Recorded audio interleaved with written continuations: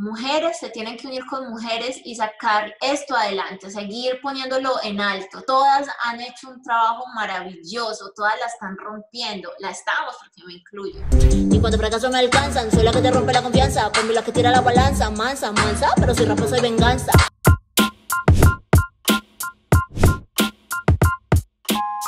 Muchos años de pulir ese talento, que es uno de mis talentos. Yo siempre he considerado mi música como un yin yang, es un conjunto de emociones, eso es lo que es Farina y su música. Y esa parte, digamos que esa parte oscura de ese yin yang, es esa Fariana, esa rapera, esa mujer que tira durísimo, que no le teme a nada, que dice las cosas sin pelos en la lengua. Y lo he pulido durante muchísimos años. Eh, hoy me siento muy segura de lo que digo, hoy me siento muy segura de cómo floto en un instrumental le ha gustado a la gente, le ha, conectado con esta generación y eso me hace muy feliz. Entonces, dándome contra el error. Es prueba, error, prueba, error, prueba, éxito. Vamos, necesitamos que sigan saliendo más mujeres. Esto cada vez se está poniendo mejor. Todas están haciendo un trabajo brutal. Eh, las uniones que se están dando, las uniones que vienen, que me sumo, porque vienen unas uniones que ustedes no se imaginan. Cosas que eh, antes no se daban, que ya se están dando. Momentos muy especiales entre las mujeres que por eso en parte a fuego lo que, lo que tiene y lo que trae dentro del mensaje es eso. Una dama no pelea con otra dama y menos por un hombre. Las mujeres no pelean entre, entre mujeres. Y eso es lo que trato de decir en todo sentido. Y ser parte de esta generación en, en donde la mujer cada vez está dando la mano con la otra, eso está durísimo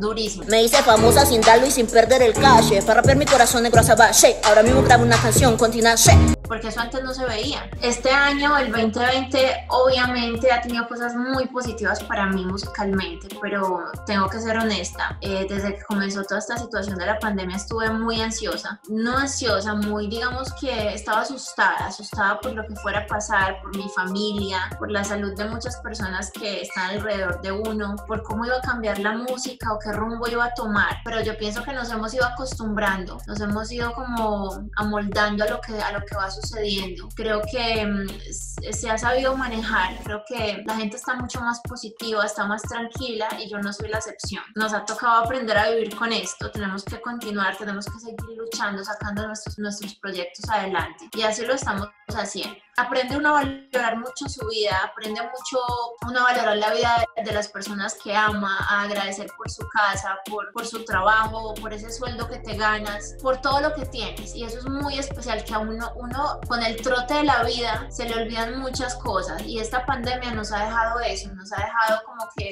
hey, estás bien, tienes tu comida, tienes tu casita, tienes tu familia sana. Así que eso es muy positivo para mí. Si te confundís, lávate la mano para que no te enfermes please.